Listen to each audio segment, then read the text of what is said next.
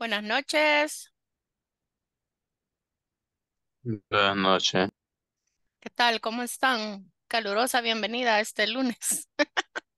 Calurosa porque caluro, está horrible el calor. Calurosa de fraternidad también. ¿Cómo les ha ido? ¿Qué tal de fin de? ¿Todo bien?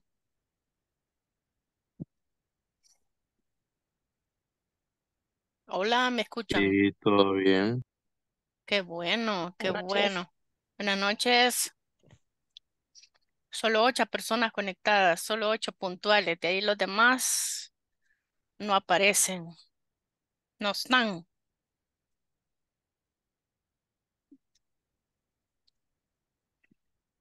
No están los chicos. Bueno, 801. Bueno, hoy vamos a iniciar el módulo 3, ¿verdad? Módulo 3 de esta, este curso.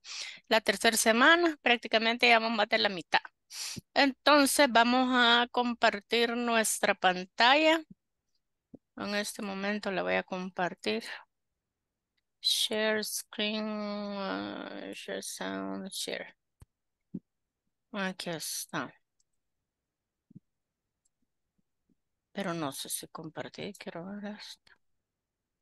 Compartir otra vez. Share screen. Tiene que ser esta.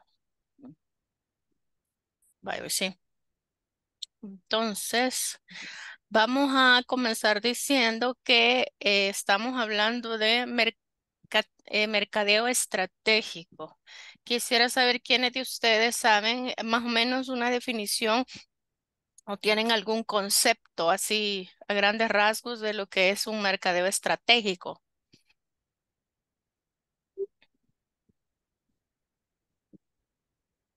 ¿Tienen ustedes alguna, alguna noción, conocimiento previo de qué es mercadeo estrategio- estratégico?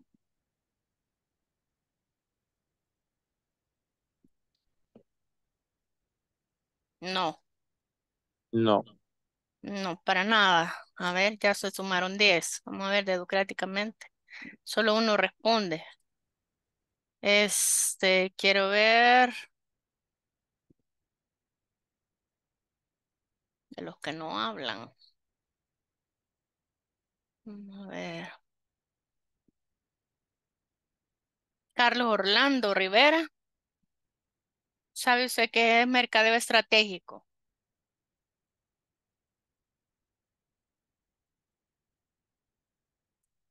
Hola.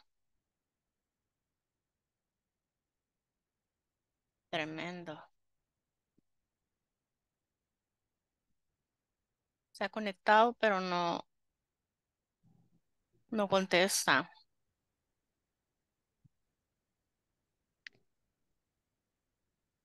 Oigo que alguien tiene el micrófono. Vilma, ya lo desconectó también. Vamos a ver, Edwin Candray. ¿Sabe usted qué es mercadeo estratégico? Buenas noches. Hola, Jacqueline.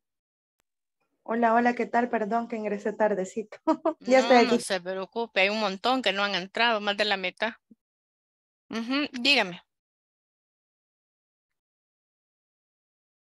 Ah, solo para decir, yo pensé que va a contestar lo del mercadeo estratégico. Ah, no, no, no escuché, acababa de entrar. Ah, y si usted tiene alguna noción sobre mercadeo, eh, ¿qué es mercadeo estratégico? De casualidad.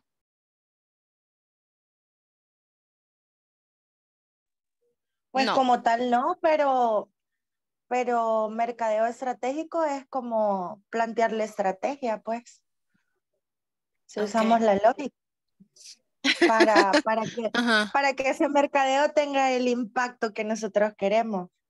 O sea, el mercadeo o, o todo lo que hemos visto hasta el momento de pautar y Ujú. demás tiene que llevar una estrategia. Tenemos que saber para dónde vamos según el negocio. Si no de nada sirve solo pautaría, tenemos que saber para dónde vamos y qué es lo que queremos lograr con ello. A mi punto de vista, ¿ve? Ujú. Y en casos de crisis, ¿usted cree que también este, es necesario tener mercadeo en casos de crisis? Por ejemplo, en lo del COVID, cuando nadie podía ir a comprar a Simán, ¿qué hizo Simán? ¿O creen ustedes que se mantenía un mercadeo, una estrategia? Porque toda su venta estaba en tiendas. No tenían una tienda en línea así como quien dice súper organizada. En el marketing estratégico se deben de eh, contemplar los planes de contingencia para saber si algo no sale como debe ser o una crisis, eh, cómo actuar.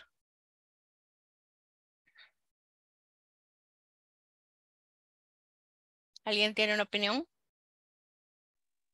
De saber si podemos tener en ese marketing estratégico. Si es una estrategia, esa estrategia contempla que todo le va a salir nítido. Las 100 millones de dólares que va a vender, todo lo va a vender, ¿verdad? No precisamente, no precisamente, se tiene que tener como, como un margen de, pérdida, siempre. O sea, todo va a salir perfecto porque Em, todo se, va actualizando, se va innovando y, la estrategia siempre va de la mano con, lo que se vive en el momento. Eh, o sea, es modificable en el tiempo, no, se va a regir siempre por lo mismo. O sea, si hablamos de Simán, Simán tuvo que innovar. Eh, Simán eh, se, se inventó el asistente virtual, o sea, uno escribe al WhatsApp y hay un vendedor detrás escribiéndole a uno, viendo el producto en vivo y en directo, o sea, son cosas que antes no existían y que hoy por hoy eh, los impulsan a una mejor venta y a una fidelización como tal. Ok, está bien. Y si de repente aparece una oportunidad súper buena que yo no tenía contemplada, también debo de tener una estrategia para eso. Por ejemplo, el Oxgasa vendiendo mascarillas.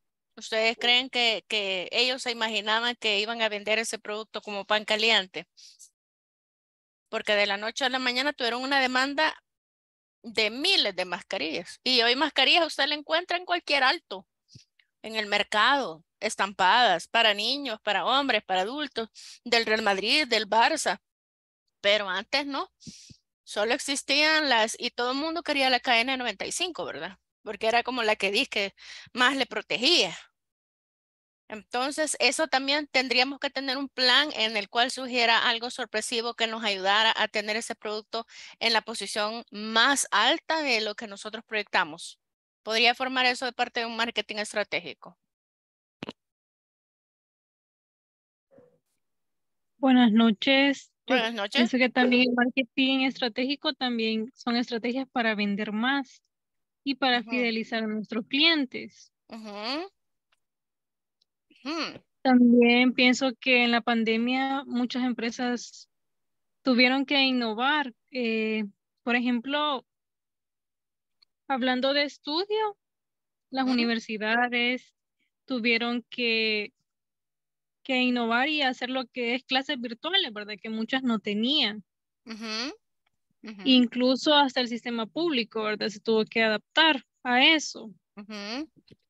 También yo veía muchas empresas de deliveries que le llevaban, no sé, surgieron muchas empresas durante la pandemia de deliveries que, que hacían como encomiendas y que vieron una oportunidad y aprovecharon para, para hacer sus clientes y hacer su mercado. Apareció el Uber Flash, ¿verdad? El Uber Flash que solo le lleva una cosita y le, y le, le da una tarifa especial, ¿verdad? Muy barata, aunque pedido ya más barato. Y el Uber Flash es, solo una moto, ¿verdad? El que le va a llevar las cosas. A menos que usted requiera algo más grande, ¿verdad? Ya es el carrito. Ya es el carrito normal. Y los taxistas, eh, eh, los taxis ejecutivos se siguen quejando, ¿verdad? De que las tarifas de Uber son tarifas que a ellos no les gustan porque no ganan lo que quieren ganar, ¿vea? Que es lo que los taxis ganaban antes, aunque hay usuarios para todo, porque todos aquellos usuarios que no tienen teléfonos inteligentes tienen que usar el taxi normal y siguen recurriendo a llamar al vecino, ¿verdad? de confianza, al que los lleve y los trae. Generalmente son de la tercera edad, ¿verdad? Que cada rato ocupan o que ya no pueden manejar, ¿verdad? O ya no pueden darse el lujo de tener un vehículo. Este, llevarlos a las múltiples citas de médicos que tienen. Nadie ha pensado en ese mercado, ¿verdad? Nadie ha pensado en, ese, en esa tercera edad, ¿verdad? Y le siguen cobrando como que si estuviera todavía activo laboralmente esta persona. Entonces, bueno, marketing estratégico. Vamos a ver. Al finalizar esta lección, esta semana vamos a cubrir la lección 3. Al finalizar esta lección, los participantes aprenderán qué es el marketing estratégico y cómo articular la esencia de una marca. Entonces, ¿verdad? En el marketing estratégico vamos a aprender, ¿verdad? Que es una metodología de análisis y conocimiento del mercado con el objetivo de detectar oportunidades que ayuden a la empresa a satisfacer las necesidades de los consumidores de una forma más óptima y eficiente que el resto de los competidores. O sea, sí, voy a tener una estrategia, pero la estrategia de siempre es que todo tiene que funcionar, ¿verdad? O que tengo que sacar esta ganancia, o que tengo que tener más clientes, o que esto se tiene que vender. Pero ¿y los planes de contingencia? Si no nos sale como esperábamos, si sale diferente con esto del marketing digital, es muy probable. Y tenemos que tener no solo un plan de contingencia, sino varios planes de contingencia para que a mediados de la campaña, si alguno va saliendo como se espera, podemos eh, modificar, ¿verdad? La, la, un poquito la promoción y sacar en las, la segunda etapa y la tercera etapa. No es que son los mismos planes de siempre. Por ejemplo, producto y branding. El branding hace referencia al proceso de hacer y construir la marca mediante la administración estratégica del conjunto total de activos vinculados en forma directa o indirecta al nombre y o símbolo logotipo que identifican a la marca influyendo en el valor de la marca, tanto que el cliente, tanto para el cliente como para la empresa propietaria de la marca. Ahí tenemos varios este, logotipos en el que pues sí, digamos que solamente son logotipos, pero si usted los analiza de una manera u otra, van a venir siendo, eh, van a venir diciéndole exactamente qué fue lo que le intentaron dar a proyectar, no solamente porque, ay, qué bonito el logo, o miren, parece esto, o miren, parece lo otro, ¿verdad? Tienen un objetivo. Por ejemplo, si usted ve el Starbucks Coffee, tiene un logotipo y adentro de ese logotipo que está, está una, una, una como una mujer, ¿verdad? Entonces, ¿qué tiene que ver el logotipo de una, con una mujer para una empresa que vende café? A ver, quiero ver qué, deducen ustedes de eso. ¿Por qué, qué, qué significa esa mujer adentro de ese logotipo redondo? ¿Quién es esa mujer supuestamente? Eh, esa mujer evoca una ciudad de Estados Unidos. ¿Qué ciudad de Estados Unidos se imaginan que es? Mujeres. Sí, es una mujer con una, con una corona. yo, yo pensaba que era una sirena, pero ajá, algo así le iba a decir, como relacionado a una ciudad que esté cerca del mar y que ahí inició la marca. Vaya, a nivel de, vaya, volvamos a lo mismo. Si Starbucks Coffee fuera un, una persona, ¿quién es esa persona?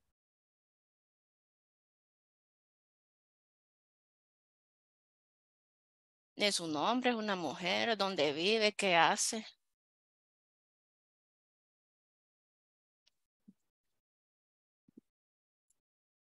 La fundadora, no, hombre. Nada que ver. no. A ver, ¿le suena a usted la Estatua de la Libertad? ¿Le suena? No la van a poner igualita, a ver. Pero, pero ¿por qué la Estatua de la Libertad? A ver. ¿Le suena a usted World Trade Center? ¿Dónde quedan este, la Estatua de la Libertad y el World Trade Center? Los originales, ¿verdad? ¿Dónde quedan?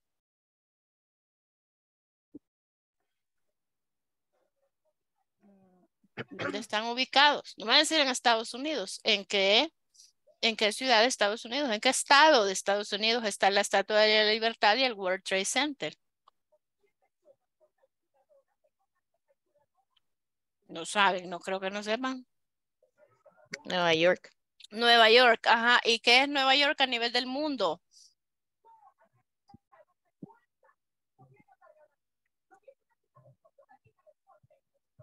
¿Qué es Nueva York a nivel del mundo?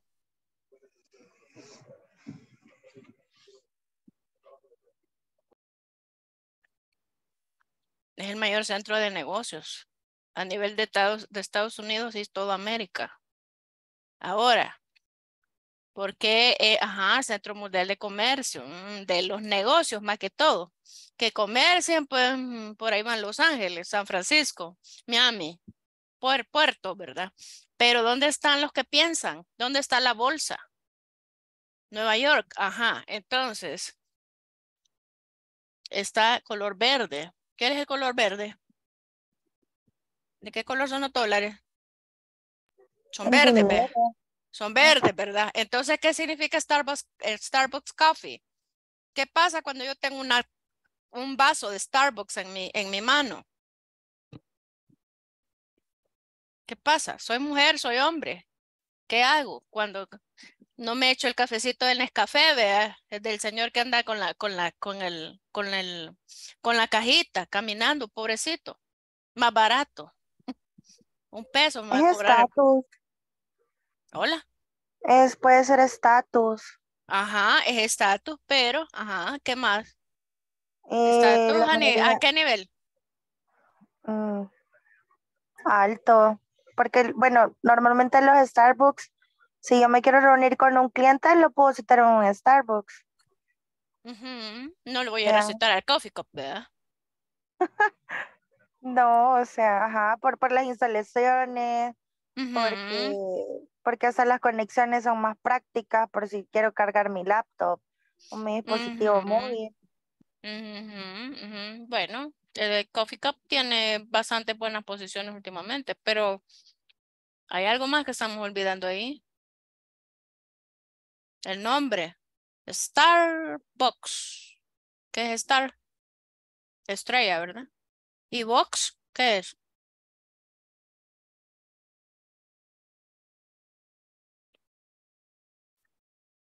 Dinero, estatus, ajá. Inteligente. Soy una mujer, soy un hombre de negocios, tengo dinero.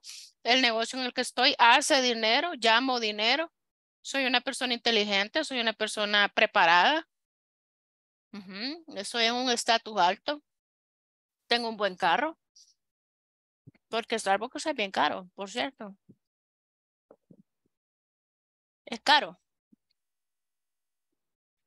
Ujú. Pero Starbucks, y todavía le ponen las estrellitas ahí. Box es los, las cosas donde le venden los camperitos. Son como, eh, por decirle, baldes. Pero más que todo esos baldes los ocupan para vender pollo frito en Estados Unidos, grandes. Entonces, Starbucks son como baldes de estrellas. Café. ¿Y qué tiene que ver el balde de estrellas y esa muñequita y esa corona y de- nada que ver, vea, con la marca? ¿Usted cree? ¿Usted cree que no tiene nada que ver con la marca? Y es verde, color del pisto. Ya se dio cuenta lo que está comprando. Si es que toma Starbucks, vea. Está comprando estatus. Una vez Tommy Hilfiger dijo que su marca no era para negros y lo acusaron de racista. Y el señor tenía toda la razón. Todita. Porque yo trabajé para una marca de ropa que diseñaba solo para negros. Ahí usted no veía, la, la figura de, de esa marca era para personas de piel eh, oscura. Todos a nivel de etnias tenemos rasgos diferentes, completamente distintos. Y la ropa de él es para personas que son caucásicas. No está diseñando grandes caderas, no está diseñando grandes eh, piernas, no está diseñando bustos, está diseñando gente caucásica. Y cuando lo dijo, quizás no pensó lo que estaba diciendo, ¿verdad? Pero sí, realmente no se lo tomaron muy a bien, ¿verdad? Entonces, ajá. Ujú. Ujú. No sé si ustedes vieron una película que se llama El Diablo Viste a la Moda, con la esta, la Miranda, se llama la, la, la persona, eh, la Meryl Sí. Streep. Ajá, entonces ahí le dicen, están las dos afligidas, las asistentes, ¿verdad? La Anne Hathaway y la otra. que si no, eh, que si no le habían llevado el Starbucks a, Me- a Miranda. Y como no lo tenía ya servido, ¿verdad? Es- Estaban asustadas. ¿Y por qué? ¿Por qué, digan? Aparte que Starbucks le estaba pagando créditos a la película, ¿verdad? Le estaba pasando una gran millonada por darle créditos en su película. Miranda, ejecutiva, la ejecutiva más importante de moda según la película, ¿verdad? Y tomando Starbucks. Entonces, o sea, ¿ustedes creen que eso no es parte de una estrategia? Es el mismo chuco. Bueno, yo sinceramente sí. Quizás estoy hablando algo que no conozco porque yo no tomo café. Se me da un café que tiene que ser orgánico, tiene que ser un café que valga la pena para que yo quiera tomar café. ¿Verdad? Entonces, este, realmente le digo, eh, no le hallo yo a estar pagando cinco pesos por un café. No le hallo. O sea, hay gente que sí, hay gente que paga hasta siete, ocho. Yo pa- he pagado eso por un té chai, por eso sí, por un té. Pero en la experiencia del café, ¿verdad? O sea, hay otro concepto completamente distinto en Juan Valdés y se siente completamente diferente. Juan Valdés es otro mundo y tiene estatus también. Hasta el olor. Ajá, yo si voy al Juan Valdés, yo pido uno de, ¿qué? Chocolate. Ajá, no sé, pero yo lo que pido es una cosa que con saborizante de vainilla, leche descremada y todo lo que no sabe café. Todo lo que a mí me cae como balazo en el estómago, eso no puedo. A menos que sea un café de maíz, ahí sí, mire, me puedo tomar un litro. Pero si no es café así, no. O sea, eh, cada vez que voy a Starbucks, lo que pido es un té chai o un té verde. Y siempre, por más chiquito que lo pida, cinco pesos casi, toda la santa vida. Entonces, ¿qué estamos viendo? ¿Qué estamos viendo? O sea, no estoy comprando el producto en sí. O sea, café es café, pues aquí o donde sea, aquí en Colombia o donde sea. Hay gente que dice que la acidez, que yo voy a un barista y todo el mundo me justifica que la acidez, que el no sé qué, que quiquea y toda esa, esa eh, casi que religión, vea, del ritual del café. Entonces, este, ¿qué estamos adquiriendo ahí? Pues, o sea, una experiencia, un estatus, una marca, un, un, prestigio, una experiencia eh, a nivel mental, a nivel qué, pues. En esa estrategia nosotros estábamos contemplados que Eh, mire, yo he llegado sin empleo al Starbucks a gastarme lo que quizás no tengo por una entrevista, con la esperanza de tal vez conseguir un trabajo. Y tal vez esos cinco pesos son importantes para mí. No todo el mundo que está en ese Starbucks está rebalsando de dinero o tiene ese estatus que aparenta tener. Y eso se lo digo. Hay un montón de gente que solo va para aparentar, no porque realmente tenga ese dinero o porque realmente sea de ese tipo de personas. Es muy raro y contada la persona que puede darse el lujo de pasar todos los días por el Starbucks a tomarse un café o a pasarlo trayendo nada más. Eso es un lujito que tal vez se puede dar un- una que otra ocasión, ¿verdad? Pero no lo va a poder hacer siempre. Igual que la Apple, la Mac. Es difícil comprarse una Mac. O sea, y conozco un montón de gente que se ha ido al hospital por las hamburguesas del McDonald's. Yo he sido una de ellas, porque la carne no sirve. No, no tengo un BMW, pues eh, eh, eh, sí me encanta ir a Disney. he ido dos veces a Disney. Siempre me ha gustado, pues, pero, pero en realidad hay muchas cosas, pues, que giran en torno. Entonces, en esa estrategia, ¿qué estamos tratando de comunicar? y cómo lo comunicamos y hasta dónde lo comunicamos para que la gente nos crea. ¿Usted cree que comiendo avena le va a hacer bien a una persona que es celíaca, que es alérgica al gluten? Lo va a matar. Porque es avena de trigo y el trigo tiene gluten. Lo va a matar. Y todo el mundo dice, ay, cuáquer es saludable, desayuna avena, le dicen a uno. Ah, Ya lo quiero ver en un mes comiendo solo avena en la mañana. ya me va a contar. Ya me va a contar cómo se siente. A ver, entonces, ¿cómo pensar en la esencia de la marca que queremos crear? O sea, ya vimos la esencia de Starbucks. que esa esencia no necesariamente es la esencia de todo mundo, sino es la que cree tener toda la mayoría. O muchas personas creen que viven en Nueva York, que son ejecutivos de éxito, que tienen pisto para estarlo botando en un café con cinco dólares o seis o siete. La comida, no digamos, es carísima, carísima, carísima. O sea, se ve rica, pero eh, realmente eh, ya he comido algún sándwich ahí, sí, son deliciosísimos, pero no puedo estar echándome eso, pues eh, cada, ¿qué? cada tres días, cada cuatro no podría. Entonces, vemos y vamos a estructurar la esencia de la marca. ¿Y cómo la vamos a hacer? Aquí no vamos a ver la pirámide de Maslow, ¿verdad? La famosa pirámide de Maslow, que nos hace ver el mercadeo tradicional. Entonces, tenemos que tener la famosa visión, misión y todas esas cosas, ¿verdad? ¿Qué hacemos? Visión. ¿Qué cambios locales o globales existen que nos hacen necesarios? nuestros consumidores. Acuérdese, usted va a conservar al que ya le compró, no venir a enfrascarse en nuevos, ¿verdad? Nuevos, porque por ir a seguir al nuevo va a, va a perder al, fidel, al que ya fidelizó, al que ya le compró, al que ya le creyó, al que no le tiene que decir nada para que le vuelva a comprar porque ya le vendió. Entonces yo tengo que pensar en qué es lo que me hace necesario a ese cliente.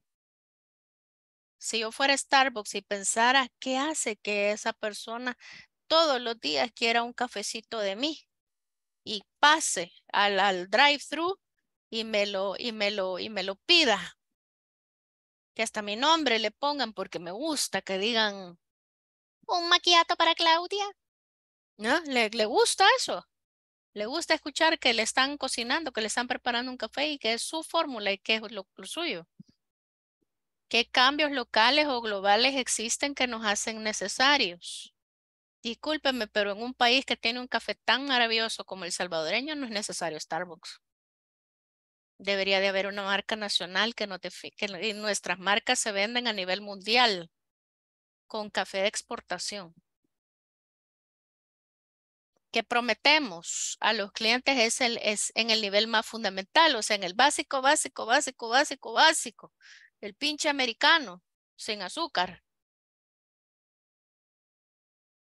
¿Qué le estamos prometiendo al cliente en el nivel más fundamental? Tomar café se lo puede tomar en la casa. Un café, petróleo puro. The House of Coffee en Ataco, gracias. Voy a ir el miércoles voy a ir. voy a ir a ver. bueno, pero ya dijimos que yo, depende si tienen orgánico, ¿verdad? Tal vez, tal vez, tal vez. A mí me han recomendado el famoso Café Lía y aquí tengo uno que ha regalado a alguien de una finca que mm, no sé, todavía estoy pensándolo si hacerlo o no. Este, ¿qué prometemos a los clientes en el nivel más fundamental? ¿Me puede cumplir Starbucks que soy un ejecutivo? de Nueva York con estatus, que gana mucho dinero, tanto como para echarme un café de 5 a 7 dólares diarios. ¿Qué le prometo al cliente en el nivel más fundamental? ¿Que va a tomar café? ¿O que va a ser ese, ese representante de esa, de, esa, de esa imagen? Entonces venimos y empezamos a analizar los atributos. ¿Qué pasa en esos atributos? Empezamos desde la base desde la base, ¿verdad? Empezamos el precio, ¿verdad? El precio de nuestros productos y servicios. Ahí es como vamos midiendo, ¿verdad? Segundo, se va haciendo más, esos son los famosos embudos filtros. Segundo, somos diferentes y mejores que en la competencia. ¿Es cierto o no es cierto? Miren, gente que prefiere el Coffee Cup. Hay gente que prefiere el Juan Valdez. Y hay gente que la, la que de verdad suspira con solo sentir el, el, olor en la mañana o anda que mata si no se toma el café, ¿verdad? Que desayuna un café y se hace ese asesinato diario de su flora intestinal. Entonces, viene usted y pregunta, ¿en realidad usted es diferente y mejor que la competencia? Cuando esa persona le da igual Algunos no le da igual, ¿verdad? Algunos siempre su cafecito, ¿verdad? Siempre es el que aman y quieren, el famoso, aunque sea el sobrecito de Musum.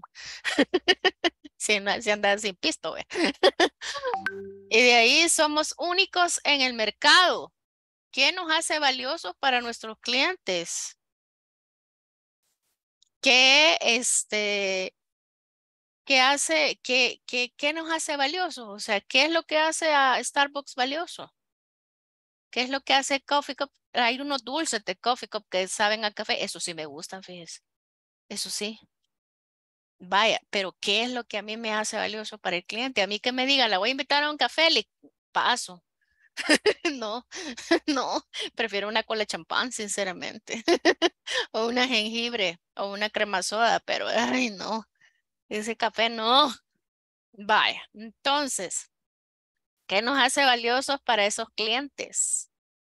¿Qué nos hace valiosos? ¿Qué les doy yo a ellos?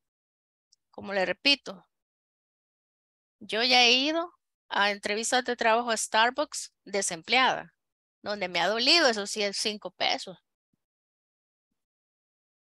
La atención es muy importante. Ajá, el nombrecito, ¿verdad? Cuando le dicen a uno, cuando gritan, un maquiato o qué, el, qué, frambuesiato, ¿cómo le dicen? Este, maquiato es el, un mocachino. El mocachino, el frappuccino y todos los chinos, ¿verdad? Que las mil y un combinaciones para fulanita. ¿Y qué tal se aparecen como cinco Claudias al mismo tiempo? Que sería normal porque hay un montón de Claudias. ¿Cómo sé yo que es para mí? ¿Cómo lo hacen especial para mí?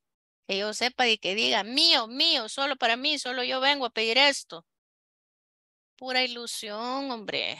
La misma que le venden en el cosmético, que ustedes, que usted es la, la, la, que usted es la modelo.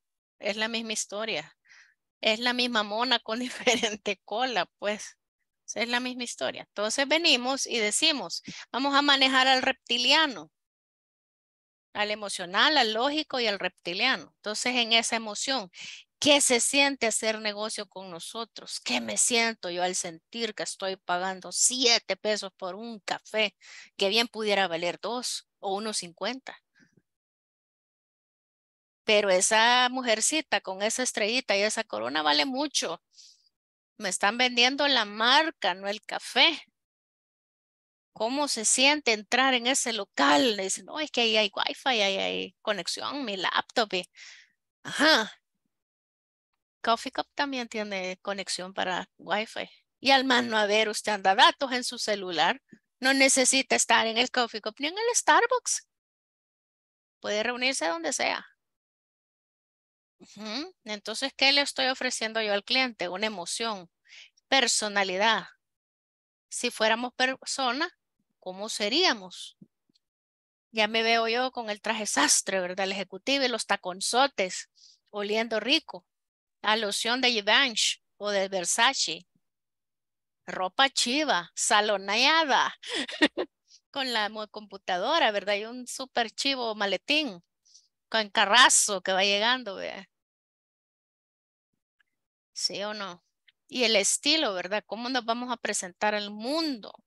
Eso es lo que le vende Starbucks. Eso es lo que vende ahí cuando se entra.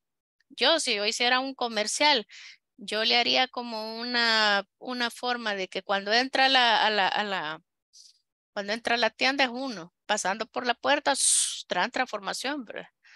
Que ni se sabe quién es esa persona su apariencia, ¿verdad? Dice mucho. Muchas personas. Fíjese que hay una película que se llama de Matthew McConaughey con Leonardo DiCaprio, que es The Wolf, el lobo de Wall Street, donde eh, Matthew le enseña a Leonardo en la vida real, le enseña una estrategia de cómo calmar los nervios y le enseña una estrategia y es la que Leonardo hizo en la película para personificar al lobo de Wall Street. Y sabe que yo conocí una persona de mercadeo que me entrevistó y estaba haciendo este, esa estrategia yo no había caído en la película y sentí que algo había raro en esa persona, que la sentía como que era falsa. Y de repente me acordé de la película y él creyó en esa película y se aprendió el libreto y eso era lo que estaba haciendo en las entrevistas. Increíble, increíble, pues, o sea, es, es, es así de real que creemos que nosotros somos el que vimos en el comercial. Eso es lo que nos ven. Entonces usted tiene que tener una estrategia. Si su estrategia es esa, pues sígala. Hay mucha gente que pudiera este, querer hacerla o querer este, formar parte de esa experiencia. Les voy a pasar un video. Eh,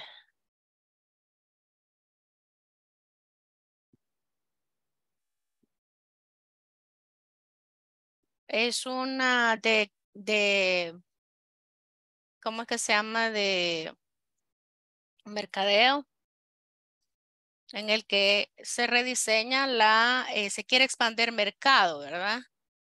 Y entonces viene el agua, ¿verdad? Es un agua que se llama, es un agua de Francia que se llama Contrex. Ellos quieren expandir su mercado. Y le han puesto la, vive la experiencia.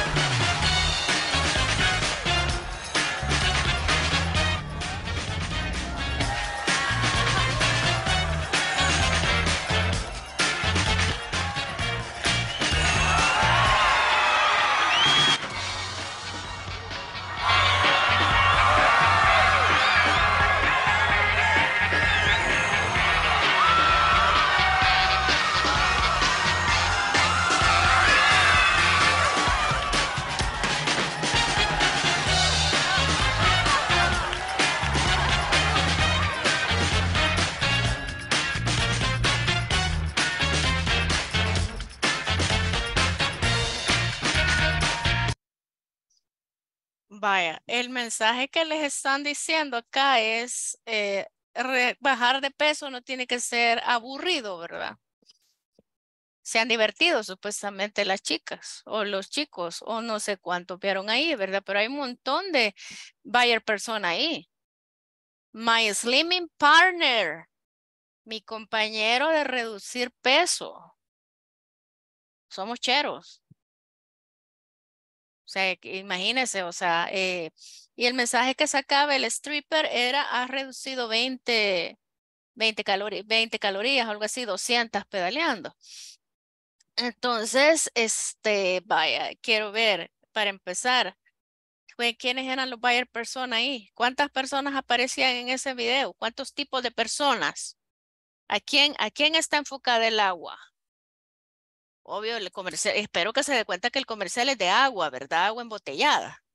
Como por decir aquí, alpina o, o, cristal, o perlitas, o lo, todas estas. ¿Cuántas personas vimos ahí? ¿Cuántos buyer personas? ¿A quién está orientada esa publicidad? ¿Qué nos hace valiosos para este cliente? El agua es agua, pues el agua con o sin en botella es, importante para vivir, pues los humanos estamos en no sé cuánto porcentaje hecho de agua. Agua tenemos que tomar. Pero entonces, ¿qué nos están ofreciendo ahí? Más ahora con el gran calor. A las personas que hacen deporte. Mm, sí, un tipo de target, sí. Las personas que hacen deporte. Pero ¿dónde, lleva, e, dónde está este anuncio? Este, este corto que han creado? ¿Dónde, dónde está situado? en una ciudad, como que fuera aquí la plaza hoy cerca aquí de la, ¿cómo se llama esta que han remodelado la? Ay, Dios mío, ¿cómo se llama esta iglesia, la nueva? La del el Calvario. El Calvario, ajá. Como que fuera ahí lo han filmado. Ajá. ¿Y usted vio a la gente trajeada? A la gente sedentaria que nunca se, que no toma agua, que solo pasa con coca y con café, o con Red Bull, o el Gatorade, o el Dr. Pepper. ¿A quién está enfocado? ¿Usted vio gente trajeada ahí? No, ¿verdad? Usted vio gente normal, en un verano, calor. ¿A quién más vimos? En un 70% ahí hay mujeres, pero ¿quiénes más estaban ahí? Habían dos tipos más ahí de target.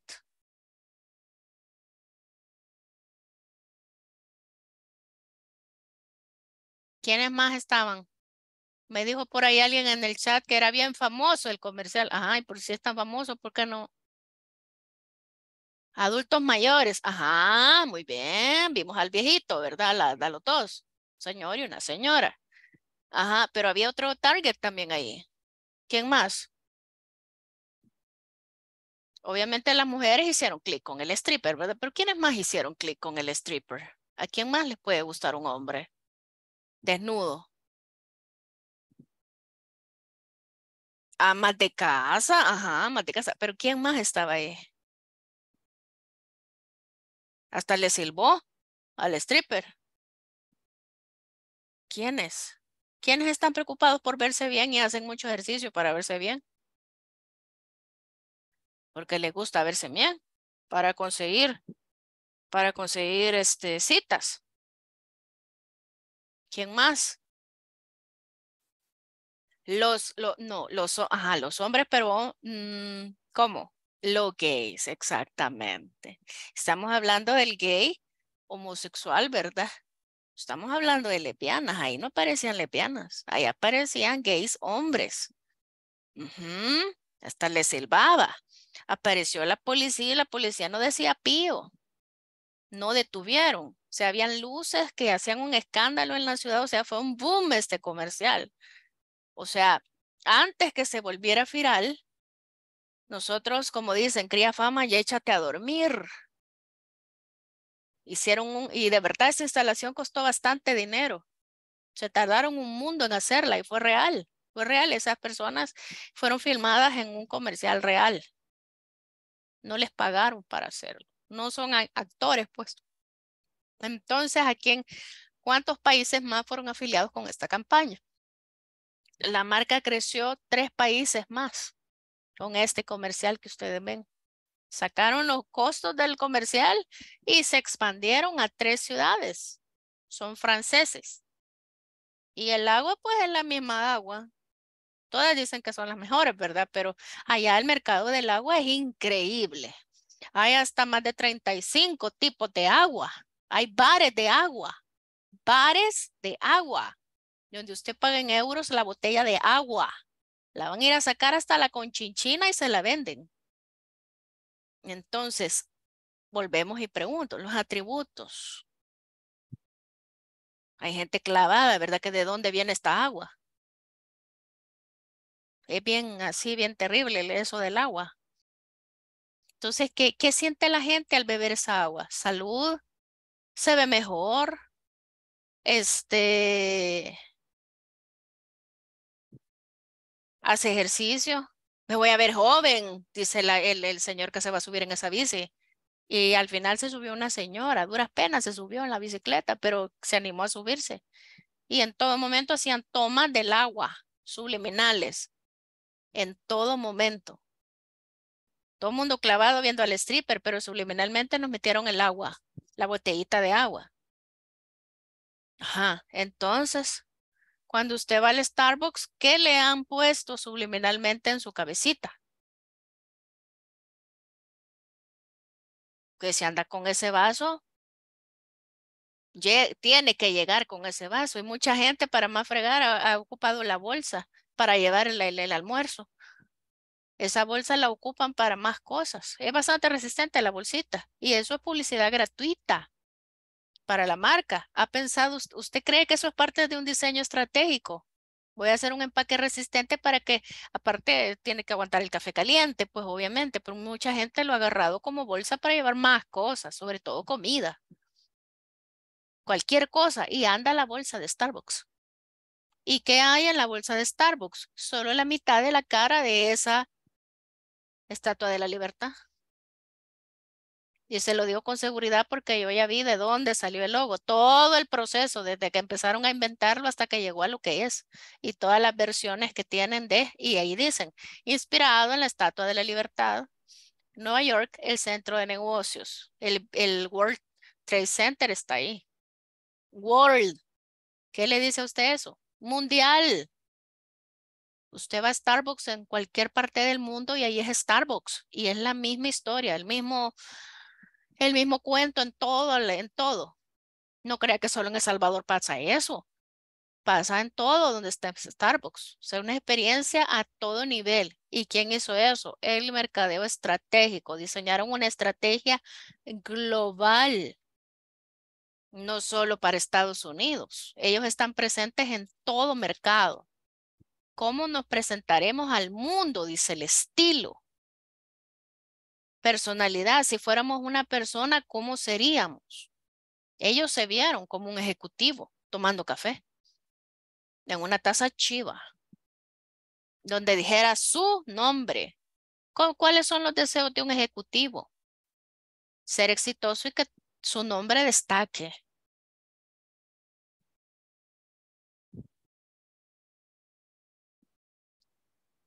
Vamos a ver este otro videito.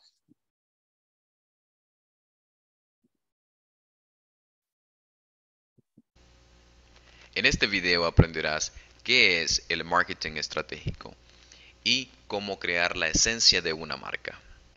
El marketing estratégico es una metodología de análisis y conocimiento del mercado, con el objetivo de detectar oportunidades que ayuden a la empresa a satisfacer las necesidades de los consumidores de una forma más óptima e eficiente. Branding hace referencia al proceso de hacer y construir una marca mediante la administración estratégica del conjunto total de activos vinculados en forma directa o indirecta al nombre que identifican a la marca, influyendo en el valor de la marca, tanto por el cliente como para la empresa propietaria de la marca.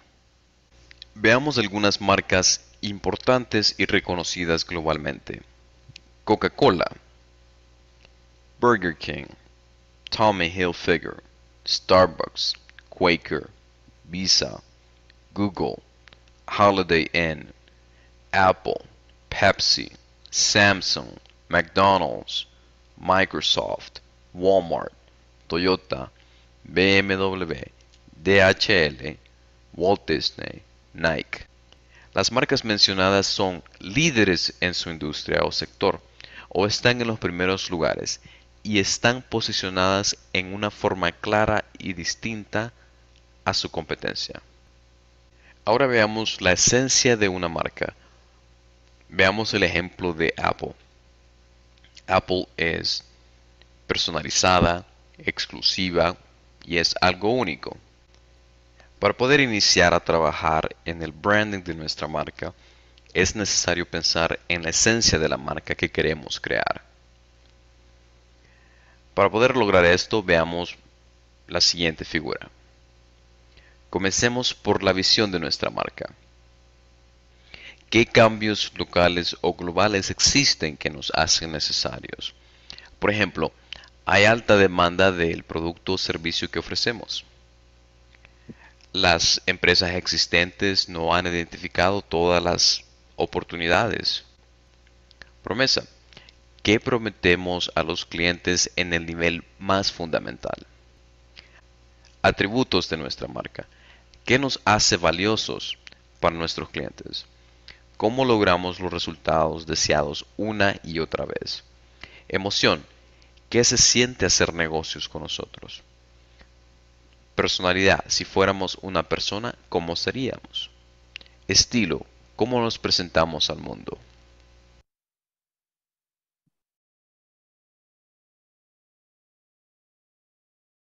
A ver, comentarios de lo que hemos visto, sobre todo de esta pirámide, ¿verdad? O sea, tenemos que analizar, ¿verdad? Que todos estos factores y el marketing estratégico no es así como que solamente enfocado en, en el producto, sino que tiene que ir en el marketing digital, sobre todo tiene que ir orientado al, al usuario y al customer experience, a la experiencia como cliente que va a obtener.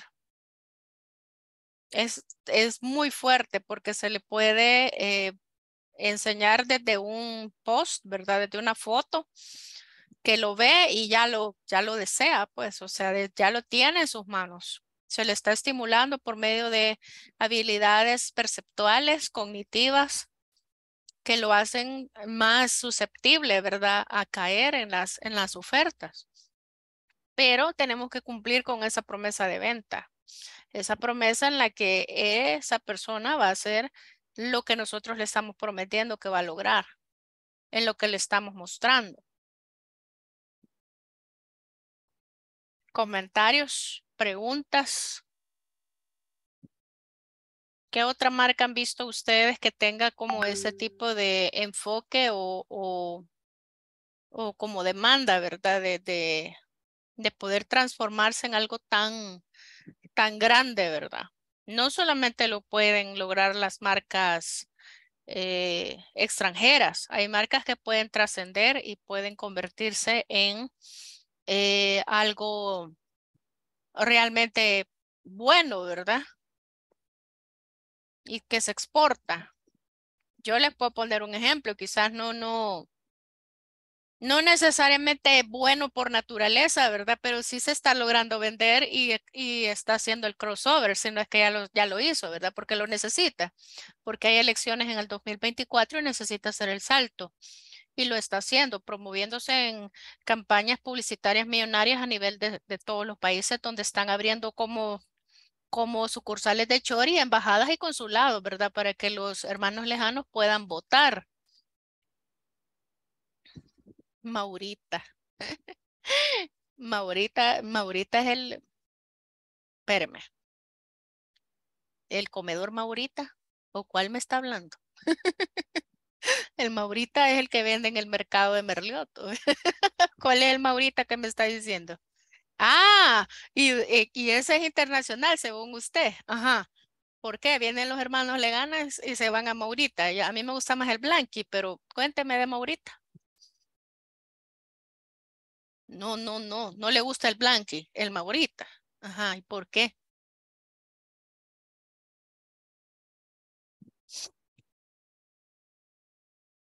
Yo no he comido en ese Maurita. Por la estrategia, mm, sí, pero ahí vamos más allá, ¿verdad? El primero, quien le ayudó primero fue el, el mercado. El mercado hizo su estrategia, ¿verdad? De convertirse en el referente de mariscos, mercado de mariscos, así como lo hizo el mercado San Miguelito con todo lo que eran las manualidades y las flores, ¿verdad? ¿Se acuerda?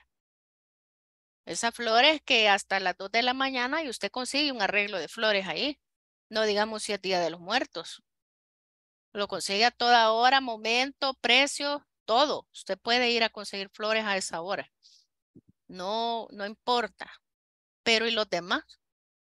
El tineti, el, quizás se han hecho famosos por ladrones, ¿verdad? O que hay mucho ladrón. El cuartel, el de las artesanías, porque ese es su rubro, pero no es así como que digan qué bruto, qué, qué barbaridad. En cambio, el mercado de Merliot, esa cosa es infernal para hacer filas. Sábados y domingos y no digamos si hay juego. Baisa Design.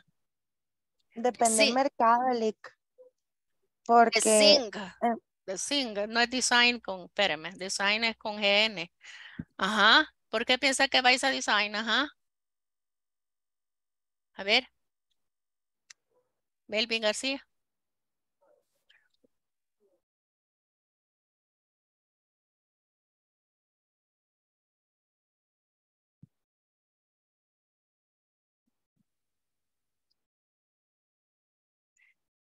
Se internacionalizó la marca. Mm.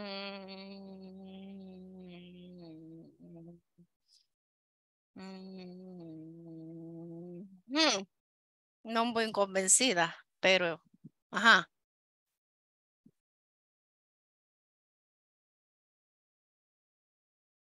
Ahí hay un recorrido bastante interesante. Le voy a decir por qué. Una niña que ni siquiera había terminado diseño gráfico gana un concurso del, Museo Marte llamado Contempo, País de Ciegos, el tuerto es el rey. Se lo pone en varios productos, ¿verdad? Como que era diseñador artesanal. Lo que hizo fue imprimir en un papel y lo pegó encima no me acuerdo si todavía está, ya estaba la sublimación aquí en el país. Ajá, ¿y qué pasó? Ganó. Y se enteró de un concurso allá por Tailandia o no sé dónde.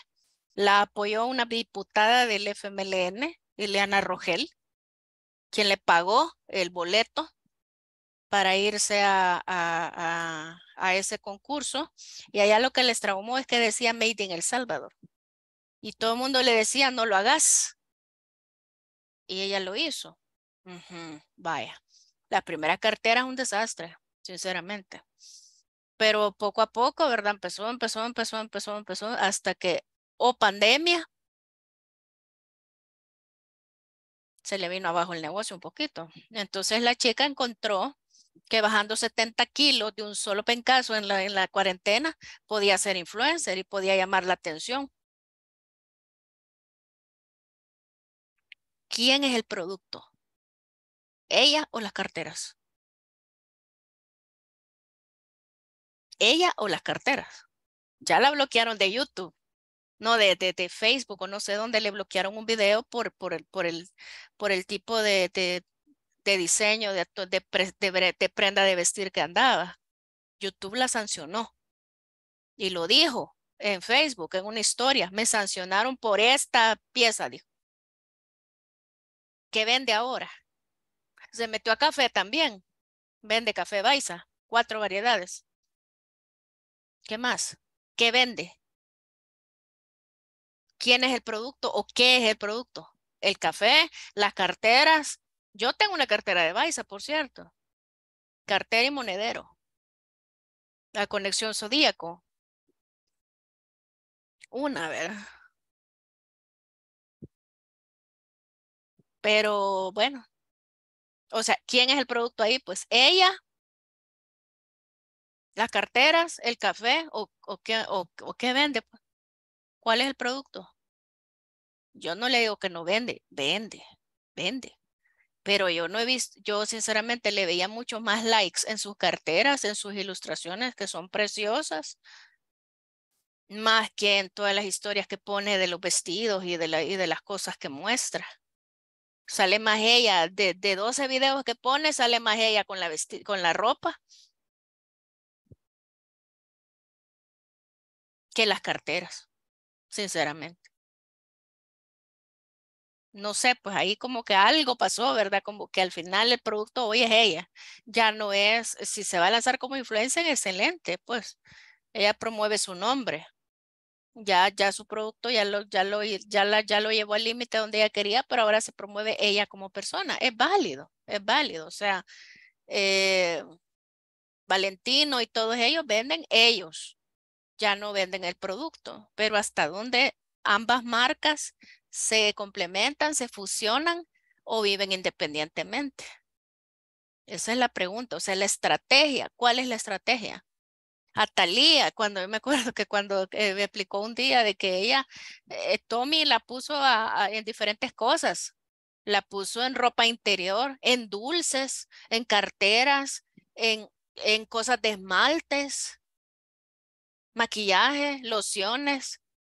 Ahí es donde empezamos a ver, ¿verdad? Cuando esa estrategia se empieza a desglosar. O sea, Luis Miguel ya no es un cantante, Luis Miguel es una empresa, una industria, una marca.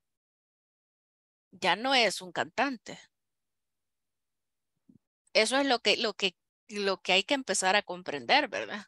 Y esta historia de, la chica esta, todo el mundo la sabe en, en, el, en el no sé qué Fundamipe. Todas las capacitaciones que dan todos ellos, pues. Y es uno en 500 emprendedores que pueden decir eso, pues. que pueden recibir esa ayuda, entre comillas, ¿verdad? Y que, se les, y que, y que lo apoyan y que puede destacar de esa manera. De hecho, en un chat yo recibí de ella un consejo de Violeta. Si quieres hacer algo, no lo hagas en El Salvador, me dijo. Andate afuera. Y el consejo de oro que me dio, hace algo que puedas exportar sin que pese, algo chiquito, me dijo. Algo que se pueda mandar en caja sin que te cueste mucho, me dijo. Ese es el boom de ella. Eso fue lo que ella me aconsejó en ese momento de mi vida, hace como ocho años. Eso es lo que tenemos que analizar, ¿verdad? O sea, ¿qué, qué, qué le está prometiendo a ella en el nivel más fundamental con fotos en bikinis diseñado por ella? ¿Qué vende? Porque no es el mejor escaparate el que ella está utilizando para lucir esa ropa. Hay gente que, este, eh, ajá, ajá, ahora entiendo por qué se quejan cuando hacen un envío internacional y, se le quiere cobrar peso volumétrico. Ajá, ajá. Pero vamos, o sea, eh, yo contrataría una modelo que luzca la ropa porque ella por más ejercicio, por más cirugía bariátrica, por más que le han hecho 40 mil carambadas, no luce como una modelo. Sí ha hecho un gran logro la chera, no lo puedo negar, pero ya no es ella, pues. Tantas cirugías que tiene que ya no es ella. Entonces yo, yo sinceramente la veo más talentosa con sus carteras que son preciosas, son lindas, son hermosas. Hay detalles en lo que en un acabado, de hecho, en una, viene una tarjeta dentro de la cartera que dice que se tiene que tomar en cuenta que el producto es hecho a mano y que por lo tanto, pues no le, en teoría, eh, lo que está diciendo es tratarla con amor porque la cosa tampoco es eh, eterna, ¿verdad? Se te va a arruinar. Así que trátala con amor para que te dure. Eh, moraleja, eso es lo que está diciendo. Yo no puedo poner eso en un producto. No puedo ponerlo. No debo poner eso. Jamás debo poner eso. Que lo ponga de otra forma, pero no de esa, pues. O sea, es como quizás, obviamente, ya recibió reclamos, ¿verdad? Que las carteras se arruinan. Entonces ella se, se hace como se cura en salud diciendo, mira, sí son bonitas, pero no son eternas. Yo la uso de vez en cuando, pues, para ciertas cosas, pero no en mi cartera de diario, pues. No la voy a andar arrastrando por todas partes, aparte que es cara. Entonces, ¿qué es lo que le estoy prometiendo a mi cliente más fundamental? ¿Qué hago yo con ese papelito explicándole que la tiene que tratar bien porque puede ser que se arruine porque es un producto hecho a mano? ¿Qué le prometo? En síntesis, le estoy diciendo, mira, se te va a arruinar rápido. Conclusión, ¿verdad? Sí, la marca es internacional, sí. Sí, ella exporta, no, no lo vamos a desnegar. Y tiene pedidos hasta por fregar, se puede dar el lujo. La cartera a mí me costó 125. Traía una cartera y un sachet. Chiquitos.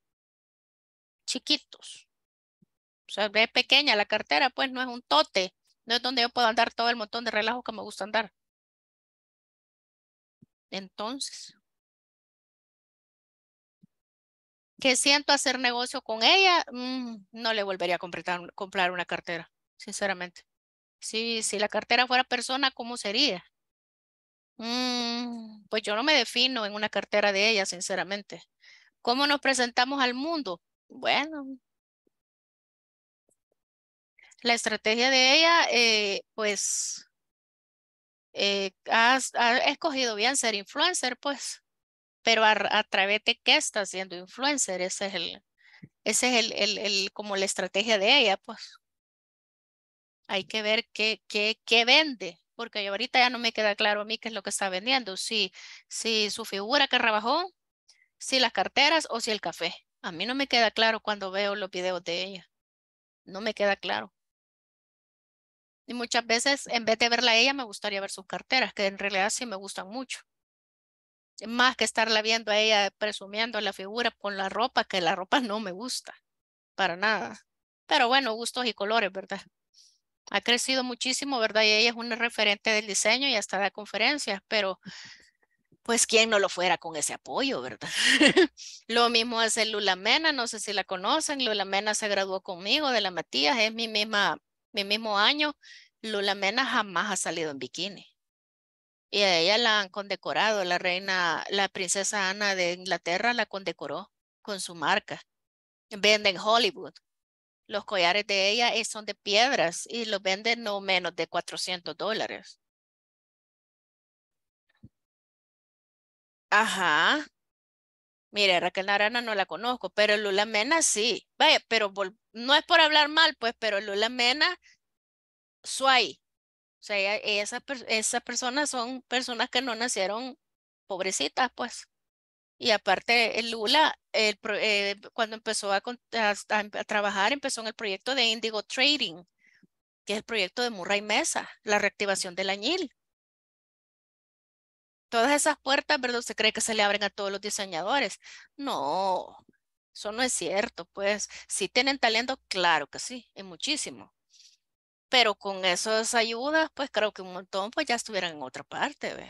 Solo que sí les puedo dar que sí, el diseño estratégico de la marca que han tenido cada una ha sido completamente distinto y las dos han triunfado, pues han triunfado y han, han logrado llegar a un nivel bien, bien, bien alto en el país, bastante. Sí, es para público selecto, su producto y amante de la buena calidad. Mm.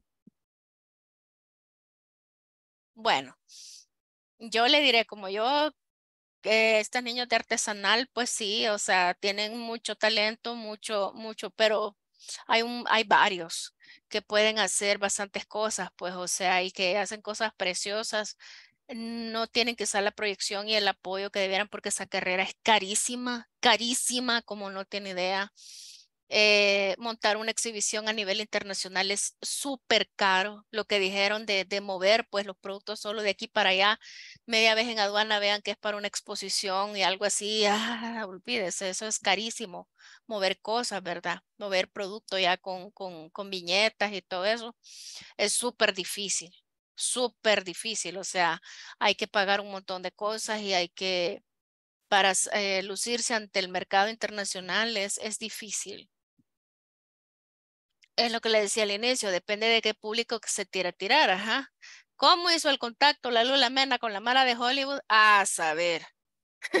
a saber, no sé, no sé, o sea, pero eh, realmente, pues qué bien por ella, pues porque lo, lo, ha hecho, ¿verdad? Y, sí, a mí me gustan muchos, muchos de los productos que hace, eh, bastante, ¿verdad? Pero sí no pagaría los precios que ella pone porque hay mucha mano de obra artesanal en este país que puede hacer varias cosas que tal vez no son diseñadores, pero tienen, tienen manos muy preciosas, muy lindas para hacer muchas cosas y no las venden a esos precios.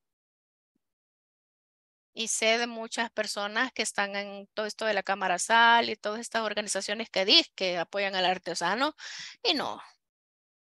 No, o sea, este, eh, no, no, o sea, es difícil, es difícil que, que los artesanos, este, aparte es bien difícil que ellos incorporen diseños contemporáneos a técnicas que ya prácticamente no se utilizan.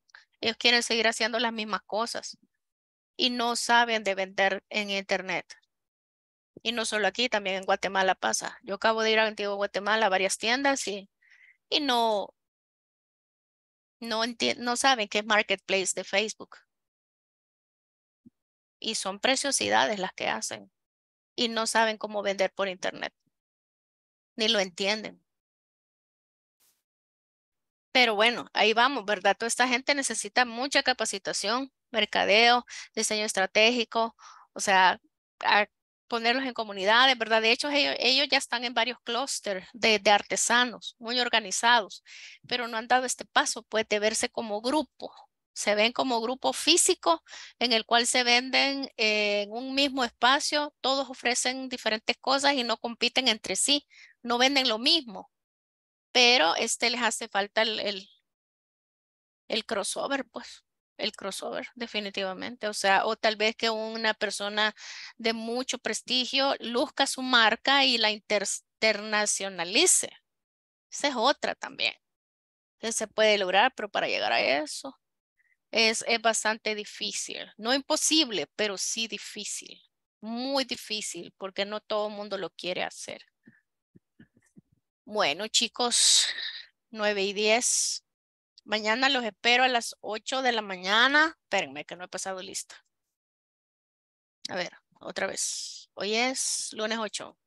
Ok, Alejandra, ¿estará ahí? No está. Eh, Carlos David. Carlos David. Carlos David. No. No. Eh, Carlos Eh, Orlando. Carlos Orlando. Buenas noches, presente. Gracias. Dani Ernesto Campos. No. Daisy Carolina. Presente. Gracias. Edwin Alexander Candray. Buenas noches, presente. Edwin Vladimir Martínez.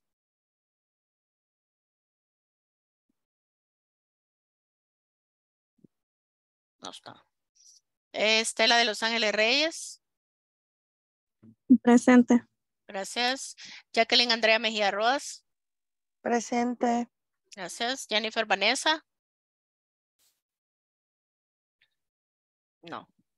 José Cristóbal. Buenas noches, presente. Gracias. José David Gaitán.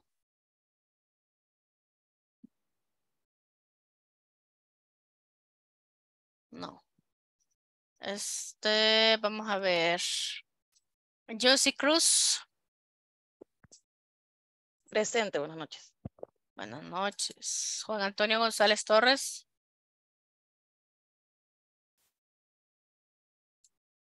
No está. Carla María. Lisa. Presente. Gracias. Catherine Catalina. Buenas noches, presente. Ah, sí, sí está. Este, Kelly Patricia. Presente. Gracias. Ligia Briseida sí está. Este, Melvin Iván. Presente, buenas noches. Ah, sí, sí está. Eh, Mónica Esther. Buenas noches, presente.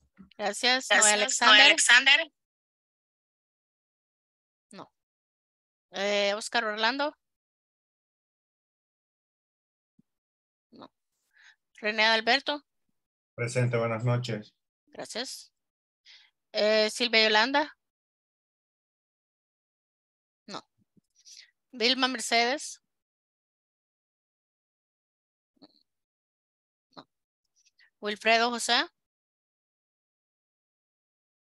No. Yesenia Noemí. No. Bueno. Quiero ver ahí un chat que están poniendo. El viernes sí no me conecté, jueves sí asistí. Ajá. Pero fíjese que por eso, yo por eso le estoy dando chance de anotarlos hasta el final, para darles chance. Pero, ¿qué sucede?